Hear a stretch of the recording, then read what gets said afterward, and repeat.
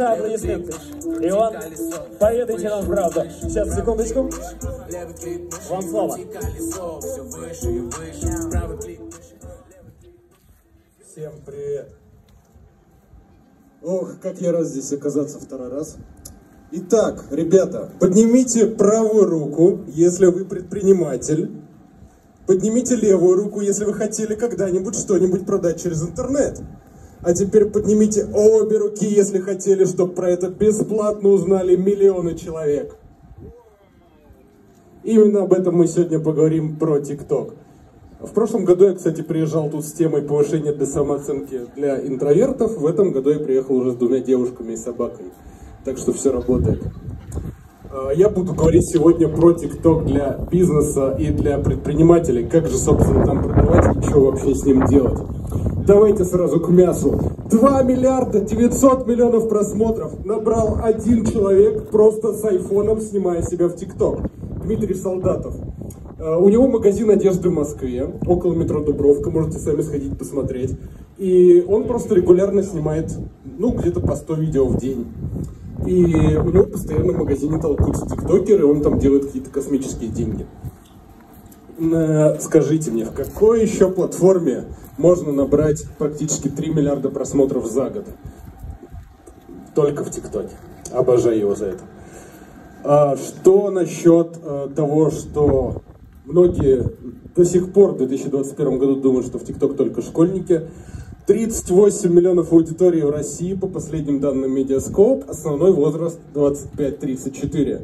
В ТикТок уже пришли все, там есть люди любых возрастов, там есть любые экспертные темы, инвестиции, юристы, бизнесы, там есть все. И даже бабушки 90 лет рассказывают там, как солить рыбу и набирают миллионы просмотров. И это отличная платформа, я ее обожаю. Э, недавно на РБК в новостях было то, что ТикТок в России обогнал ВКонтакте по времени просмотра, ну, по времени, которое пользователи проводят в приложении. И по свежим данным, в Америке и в Британии ТикТок обогнал YouTube. Прямо вот такой график, где YouTube идет вот так, а ТикТок его обгоняет по тому же параметру по залипательности. То есть люди в ТикТок проводят больше времени, чем на всех остальных платформах и уделяют ему больше внимания. А там, где внимание зрителей, туда идут авторы, за авторами идут деньги и бренды. А, поэтому сейчас ТикТок хотят зайти все. Я периодически буду смотреть актуальные цифры, чтобы вам точно все рассказывать. И почему ТикТок такой революционный, что он сделал? Главный вопрос, который всегда нас мучил в интернете, я в интернете с 2004 еще подключался по модему, по этой пикающей телефонной линии, кто это помнит, а, как сделать так, чтобы вас заметили. И это было всегда очень сложно. Либо вы долго пишете тексты, чтобы вас можно было найти в поиске, либо вы пробуете раскрутить социальные сети, но там все очень сложно и они не дают вам трафика. В ТикТок все очень просто. Снял одно видео, загрузил его на платформу, все, ты спишь, просмотры крутятся. А, вот недавно буквально снимали видео с, э, для психолога, а, она набрала миллион просмотров на одном своем видео за несколько дней, и мы сняли видео с утра, вечером смотрим, она занималась своими делами, там уже 160 тысяч просмотров.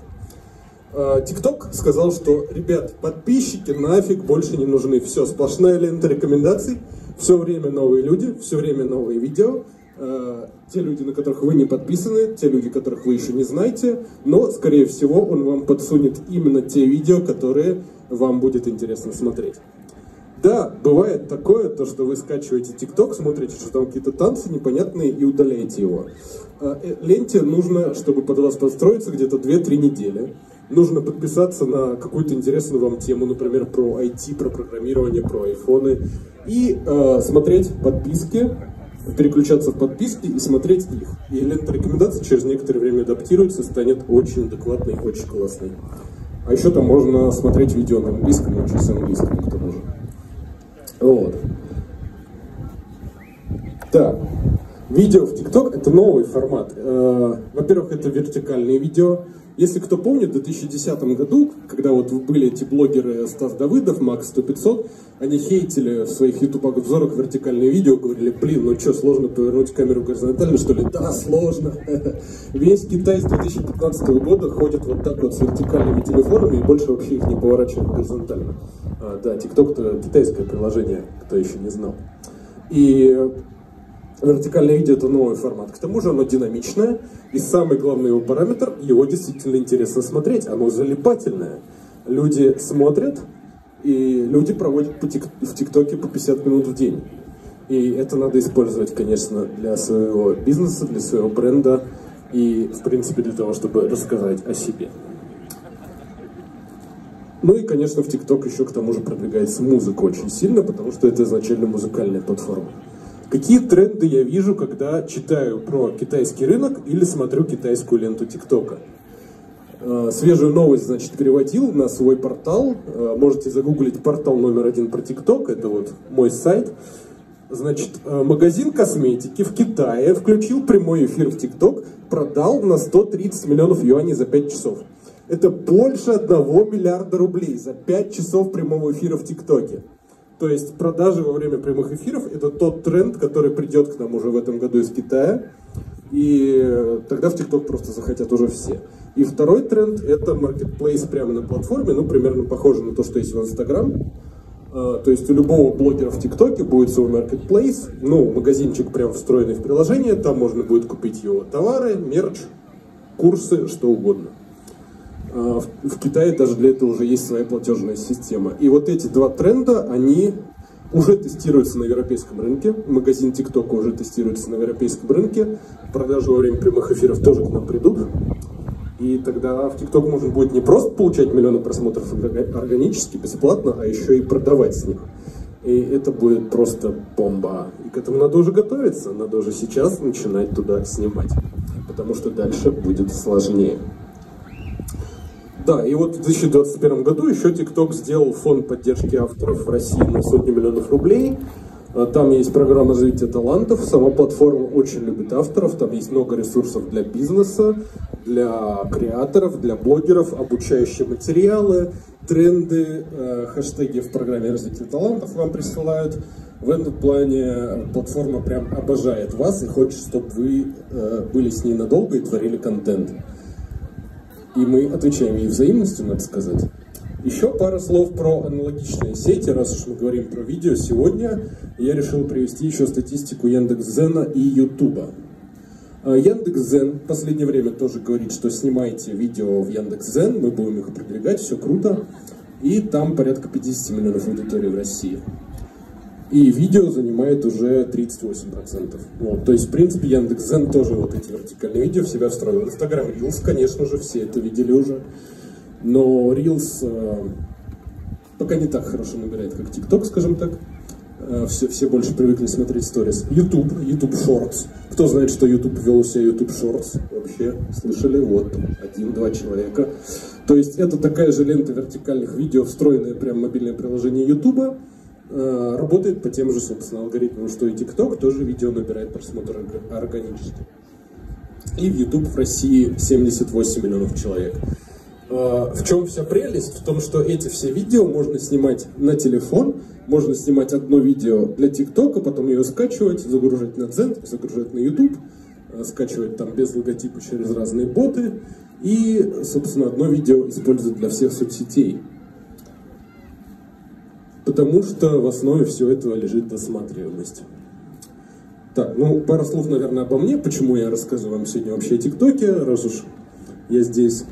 А, я начал изучать эту тему еще в начале 2020 года, и а, я активно перевожу на свой портал статьи а, про английский и китайский рынок о ТикТок. Собственно, у меня есть видеопродакшн компания, кейсы видео сняты для бизнеса. Мы в мае снимали «Дубайского принца» в Москве. И и я еще пишу статьи для СМИ, да, и пишу книгу для Эксмо. Итак, э, это все в целом про ТикТок, то есть это платформа, на которой просто прям необходимо быть и готовиться к тому, что там будут продажи. Теперь немножко про то, как же там работает алгоритм. Э, любое видео, которое вы загружаете, оно набирает, в принципе, где-то 100 просмотров, И TikTok смотрит самый главный параметр – досматриваемость. У меня есть такая специальная фраза для запоминания алгоритма «дрон». Вот если у вас есть друг Андрей, ассоциируйте э, алгоритм ТикТока с ним. Досматриваемость, регулярность, однородность и необычность. Я потом запишу на флипчарте. Э, досматриваемость – самый главный параметр. То есть если ваше видео смотрят до конца, то это очень классно. ТикТок понимает, что оно залипательное, а цель ТикТока – удержать внимание на платформе. Поэтому он его крутит дальше в рекомендациях, и оно набирает, набирает, набирает просмотр. Регулярность это про то, что надо снимать видео часто. А, тут у каждого свой подход. Либо вы снимаете видео каждый день, либо вы выбираете один съемочный день на выходных, снимаете 20 видео за один день, и потом постепенно в течение недели их выкладываете. А, но главное это делать системно. Вот многие думают, что в ТикТок есть какой-то секрет. На самом деле главный секрет это просто регулярно вот фигачьте видео каждый день, и все будет хорошо и тестируете разные форматы, конечно же. Однородность это про то, что стоит говорить про какую-то одну тему. А, ТикТок это вот не то, что я там блогер сегодня, я бегаю, завтра я на консультациях, потом я в фитнесе. Это примерно про какую-то одну экспертную тему, ну, про которую вам интереснее всего рассказывать. Там психология, IT, а, юриспруденция, инвестиции. И вот про эту тему рассказывайте. Потому что TikTok про ваш профиль копит большие данные, чем больше видео снимаете на одну тему, чем, тем ТикТоку понятнее, кому же вас показать. И необычность это про то, что надо в первые 2-3 секунды зацепить чем-то зрителя, чтобы он вас не пролистал в ленте, как обычно, не свайпнул, а начал смотреть. Для этого используются кликбейтные заголовки, э, дублирование заголовка текстом прямо поверх видео, э, более эмоциональное начало – и э, дальше уже идут приемы сценаристики и драматургии, чтобы удержать внимание зрителя до конца. В принципе, те видео, которые я снимаю, я их снимаю прямо в приложении ТикТока, потому что, кроме всего, там еще есть классные фильтры. Там есть э, помада и тушь для девочек, то есть можно вообще не краситься, можно поставить в ТикТоке эти фильтры, будете выглядеть замечательно.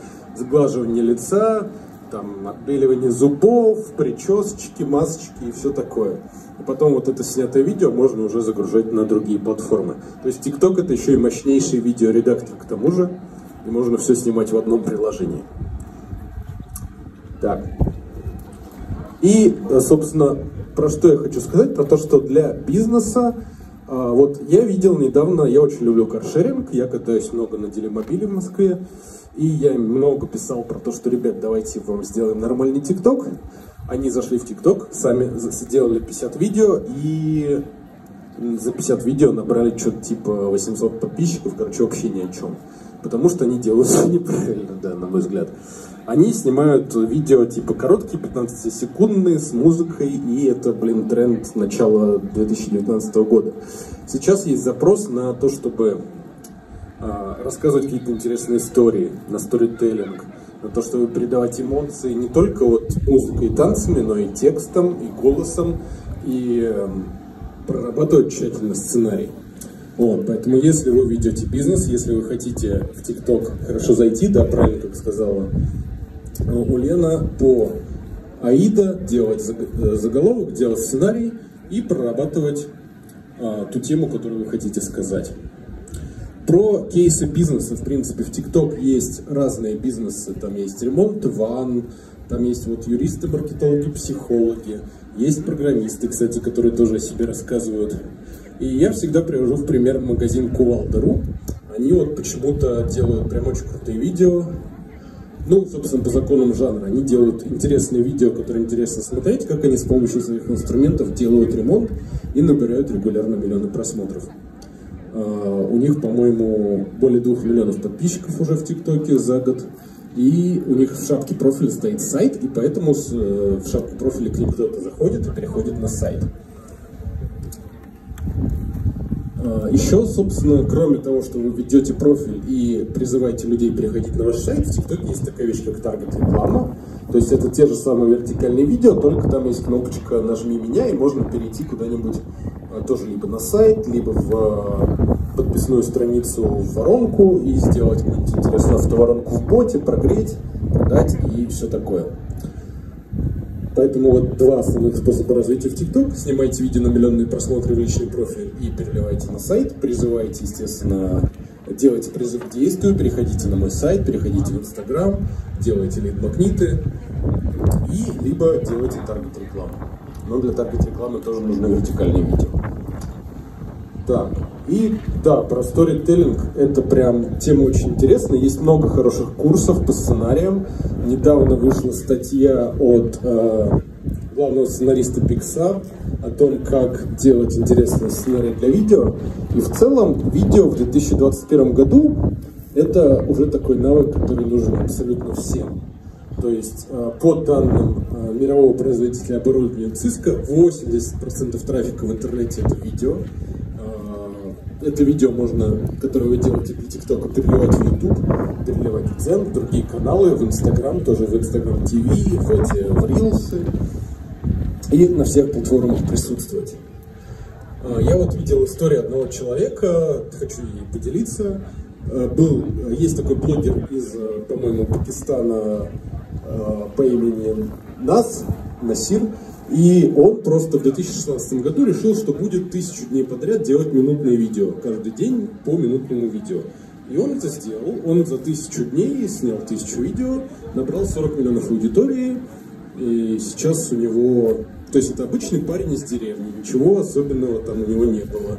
Он э, ну, выглядит как типичный араб, не харизматичный но он научился рассказывать вот истории так интересно. Он там рас, рассказывал в своем блоге за эти тысячи видео уже о многом, и о политике, о религии, обо всем. И сейчас он открыл свою академию, в него инвестировали там 11 миллионов долларов.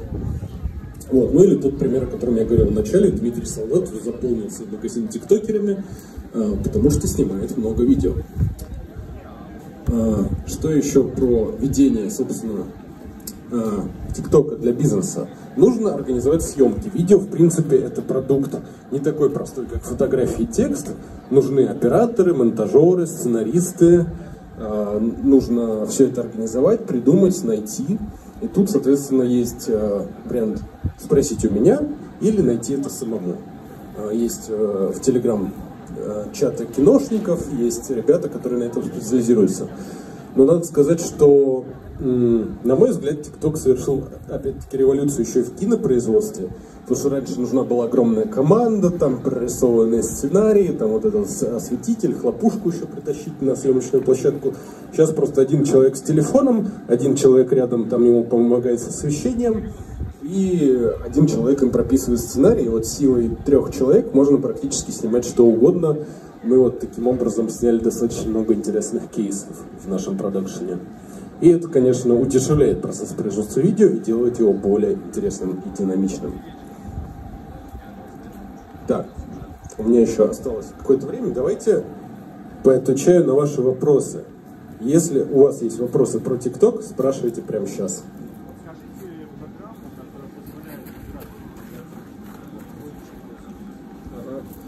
Да, для того, чтобы убирать логотип ТикТока, есть э, телеграм-боты для скачивания как скачать видео из ТикТока, есть разные телеграм-боты, это во-первых. А я пользуюсь немного другим способом. А, если вам нужны конкретные боты, я тут напишу тоже свой телефон, можно мне написать WhatsApp, можно ввести портал номер один про ТикТок и меня найти. А, я, как э, немножко программист и хакер, придумал такой способ. Я начинаю редактировать видео в ТикТоке и делаю запись экрана. Таким образом, все видео как бы от начала до конца в процессе редактирования проматывается, потом я эту запись экрана обрезаю, удаляю элемент интерфейса, и получается видео без логотипа и к тому же хорошего качества. Потому что Telegram-боты скачивают уже ужатое видео, которое в TikTok выложено. А вот запись экрана, она более хорошего качества. Вот. Ну и потом можно это демонтировать в иншоте и уже выкладывать на другие платформы.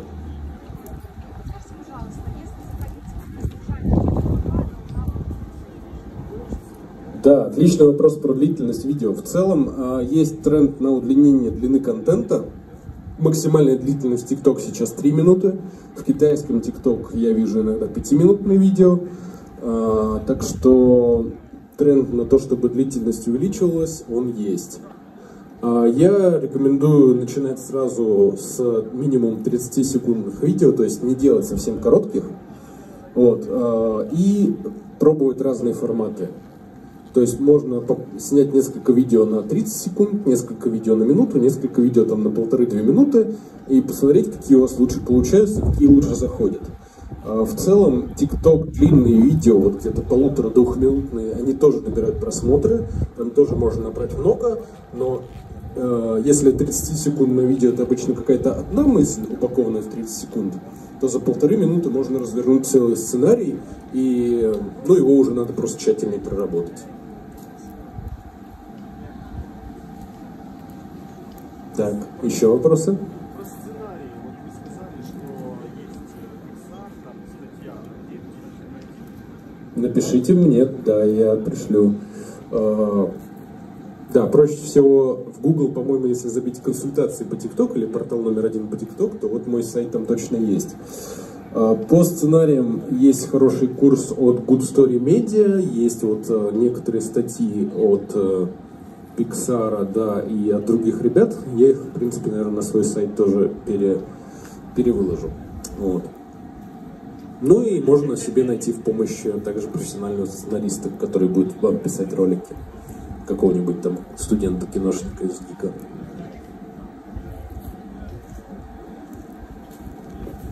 Окей, если вопросов нет, тогда я сейчас запишу тут свои контакты и пишите мне обязательно, я вам пришлю статьи, я вам пришлю...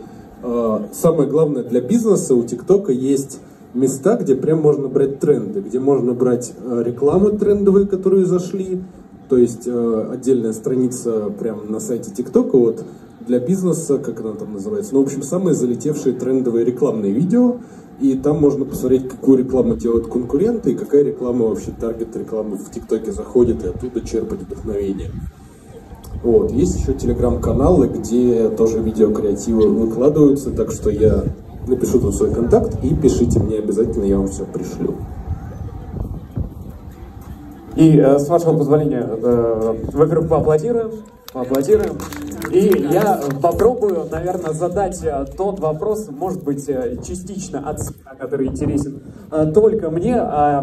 ну, по крайней мере, мое представление, что флипчарт ломать по- пока что не, не, не, не нужно. А, в общем, а, у меня есть такое а, на подкорке ощущение, что TikTok это все-таки платформа, ну, не совсем а, для таких динозавров, как я, там все-таки больше школьники, вот какая-то молодежь, прям, которая совсем прогрессивная, некоторые тренды абсолютно не ясны. Как вот эм, а, в, именно в бизнес-модели ведения своего а, TikTok аккаунта избежать вот этих вот, а, может быть, не, не самых а, а, нужных просмотров от этой аудитории, как а, вбить тот самый целевую аудиторию, как ее найти, как нащупать именно на тиктоковской платформе. Отличный вопрос. Я тут против того, чтобы... Сейчас я на него отвечу. Портал номер один. А, Я против того, чтобы как-то свой бизнес ломать под тренды. Если вам не нравится танцевать, то не танцуйте, пожалуйста. Если вам нравится рассказывать истории, то рассказывайте истории. Тут есть такая фишка, что контент делает аудиторию. То есть, если вы делаете умный контент про психологию, то на вас подпишутся те, кому это интересно.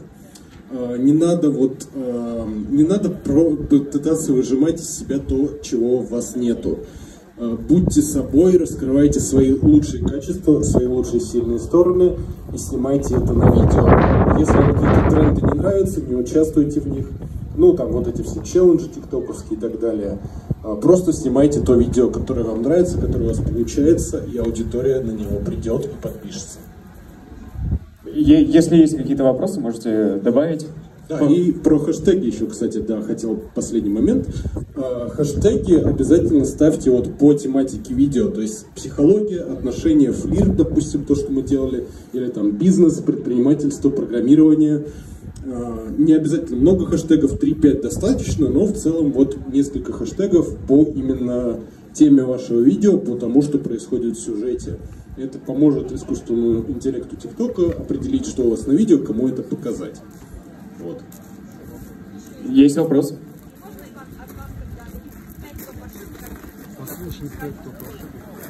А, Да. 5 топ ошибок, да, кстати, тоже классный вопрос. 5 топ ошибок. Знаете, самая главная ошибка это бросать ТикТок, вот, потому что некоторые начинают, снимают 10 видео, у них ничего не получается, они такие, не, фигня какая-то, пойдем дальше. Э, вот, это, ну, знаете, вот в 2012 году про Инстаграм тоже так думали, что там только девушки в купальниках и котики, а теперь все там хотят быть. А, поэтому в ТикТок надо просто пробовать, пробовать разное, и обязательно что-нибудь зайдет. Поэтому первая ошибка это не бросать. А, вторая ошибка – это пробовать делать то, что вам не нравится, потому что если ну, многие бизнесы заходят, смотрят там какие-то танцы популярные, ну, давайте тоже попробуем сделать танцы. Нет, надо именно построить ту историю, которая, которая вот заходит лично вам, которая вам актуальна и по душе, и которая идет ну, из вашего сердца, может быть, или из ваших талантов. И вот тогда все хорошо получится. Поэтому не ломайте себя, не делайте то, что не нравится. Дальше. Третья ошибка – это фокус исключительно на коротких видео. То есть многие до сих пор думают, что TikTok это 15-секундные штуки, такие же, как Stories. Нет. TikTok это другой формат.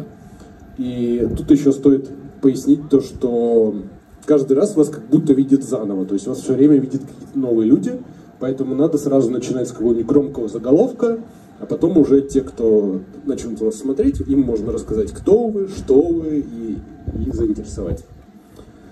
Вот, поэтому третья ошибка – это короткий контент и мало рассказать о себе. А, четвертая ошибка я бы сказал, что это ну, пробовать делать все самому и э, пытаться изучить платформу самому. То есть, на самом деле, есть много уже курсов, в том числе русскоязычных, много англоязычных. Есть вот мой портал со статьями, есть эксперты на рынке России, в том числе Ренат Инбеков, который тут в прошлом году выступал. А, если вы видите, что у вас TikTok что-то не получается, это не значит, что у вас теневой бан. Это значит, что у вас просто неинтересное видео. И надо спросить кого-то о помощи и нанять себе сценариста или продюсера, такого как я. Вот. И пятая ошибка, ну, я бы сказал, что это,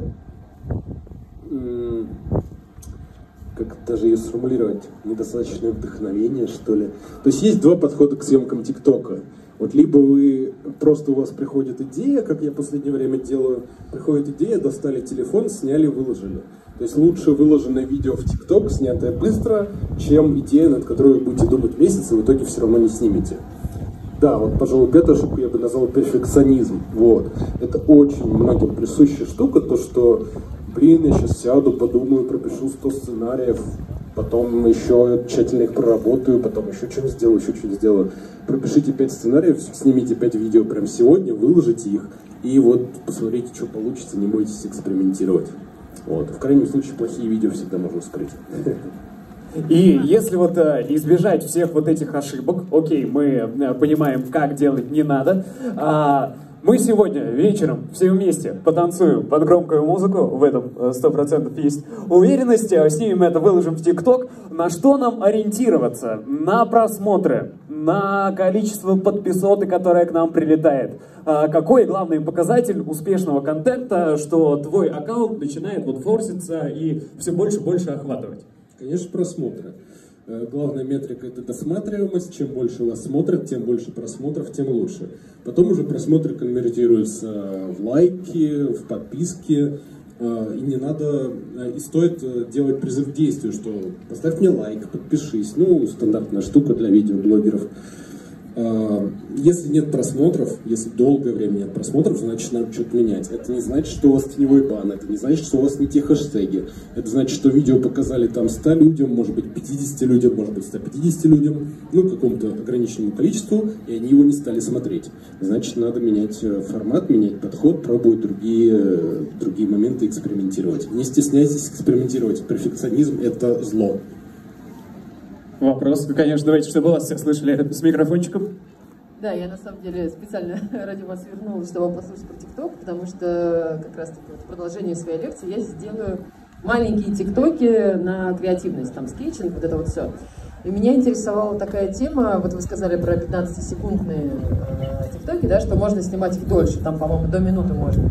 И даже до трех. Даже до трех, отлично. Спасибо. А, про досматриваемость. То есть э, вот я сделала минутное видео, и его досмотрели, и время просмотра, соответственно, минута. И я сделала 15-секундное видео, и его досмотрели. Но это же разные вещи, по сути, получается. То есть как вот досматриваемость она считается? Она зависит от длины видосика? Или типа 15 секунд посмотрели в минутном видео, или 15 секунд в 15-секундном видео это одно и то же? Как вот это вот работает механизм? Это разные вещи, их можно посмотреть в аналитике ТикТока, там, когда подключаете про аккаунт, там для каждого видео есть два параметра, там среднее время просмотра, допустим, из 20, сейчас у меня там на скриншот, в общем, если из 20 секундного видео вас смотрят 18 секунд, это очень хорошо, оно наберет просмотры. И второй параметр это сколько процентов смотрят видео до конца. Да, минутные видео до конца смотрят меньше, но ТикТоку ценно, чтобы минутных видео было больше, потому что вот этот параметр, сколько люди проводят на платформе, параметр залипательности, таким образом повышается. Поэтому даже если минутное видео досмотрит в среднем процент меньше людей, а, все равно оно тоже может набрать просмотр, и все равно это будет ценно для платформы. И вы в минутном видео еще можете больше рассказать, чем за 15 секунд. Спасибо. Да, просто много вот статей как раз по ТикТоку, и э, много где встречаются рекомендации съемки коротких 15-секундных роликов, как раз таки из-за того, что типа их гарантированно досмотрят, и тогда коэффициент досматриваемости будет выше, охваты выше, и вот это вот вся трали-вали. Ну, короче, это миф. Да, я про то, чтобы контент был длиннее, про то, чтобы было больше сторителлинга, больше каких-то интересных экспертных историй. Такие вещи обычно 30-60 секунд занимают. Отлично. Спасибо большое. Итак, если есть еще вопросы, задавайте, собственно, я думаю, Иван не будет против. Итак, три, два, один. Вопросов нет. Ваши аплодисменты. Иван Каратеев только что нам рассказал про ТикТок, что это такое, как с ним взаимодействовать. Сегодня будем э, набирать...